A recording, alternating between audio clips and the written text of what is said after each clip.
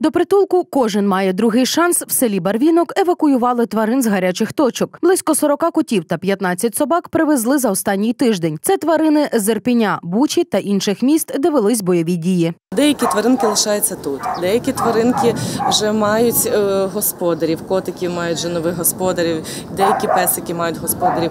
Е, а деякі тваринки їдуть далі на Європу. Вони тут просто як ну на, деякий час, поки не узгодять всі, всі нюанси по переправки. Тепер тваринки в безпеці і потроху звикають до нового життя. Кожна тваринка має свій характер і вона адаптується по-різному. Звичайно, що для них все, що вони пережили, транспортування, як вони там вижили, як вони були на вулиці, як вони їли. Ну, все, все ці жахливі да, умови. Вони всі адаптуються по-різному. Деякі, деякі швидко адаптуються, вони вже даються і погладитись, і підходять до тебе вже такі, ну вже більш-менш з повністю соціалізовані. Деякі ще трошечки, звичайно, в стресі. В стресі, тому що ну і дорога тяжка, і там всякі ці звуки, що для і вони без господарів залишились, вони залишились на вулиці. Тобто для них це дуже дуже дуже складно.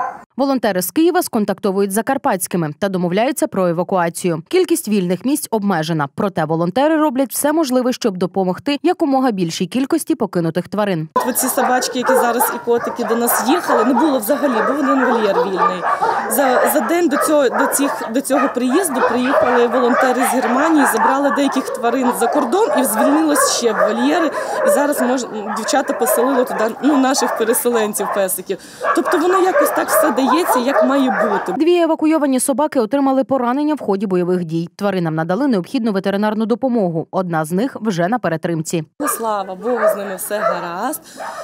Ось, тобто, ну на даний момент немає такого, що щось конкретно, якусь медичну допомогу треба давати. З ними все вже оброблено, все зроблено. Вони в задовільному стані. Тобто, і все, що потрібно, це любляче серце. І турбота, яка їх відігріє, і все загоїться набагато швидше. Песики потрохи звикають один до одного. За словами Ірини, волонтера громадської організації Кожен має другий шанс. Bільшість евакуйованих тварин були домашніми, тому опинитися в притулку для них додатковий стрес, який вони переживають після обстрілів. Ще не адаптувалися всі. Тобто ну, два дня мало. Деякі, які ну залежать від темпераменту, напевно, собаки. Є такі, які швиденько пішли на контакт, але це більш молоді.